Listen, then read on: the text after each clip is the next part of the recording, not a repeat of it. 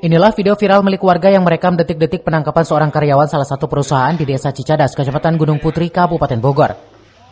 Dalam video tersebut terlihat petugas sedang memeriksa barang bukti narkoba jenis tembakau gorila dari tersangka NT penghuni rumah kontrakan di Kampung Parung Tanjung, RT 03 RW 03 Desa Cicadas, Kecamatan Gunung Putri, Kabupaten Bogor. Lalu petugas mengiring tersangka keluar dari rumah kontrakan tersebut.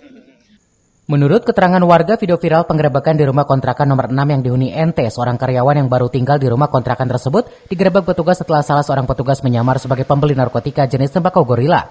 Pada NT penghuni kontrakan tersebut, dan tidak lama kemudian petugas lain menggerebeknya.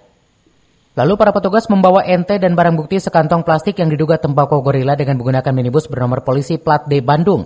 Dari keterangan warga petugas tersebut mengaku kepolisian dari Polda Jawa Barat tadi itu kayaknya dari Bogor cuman nggak tahu nih dari Polda atau gimana paling jelas juga tadi soalnya tadi pas saya turun dari atas itu kejadiannya itu saya nggak tahu juga seperti apa dan gimana itu bisa ada apa penangkapan itu saya kurang paham juga gitu ya kepolisiannya kayaknya melakukan transaksi dengan apa si tersangka ini kayaknya Nah ini si tersangka ini uh, pelaku apa bang? Uh, narkoba jenis apa gitu?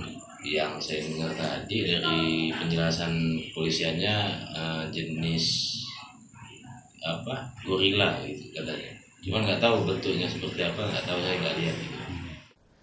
Sebelumnya warga tidak menyangka NT penghuni kontrakan baru rumah kontrakan berlantai dua tersebut sebagai bandar narkoba.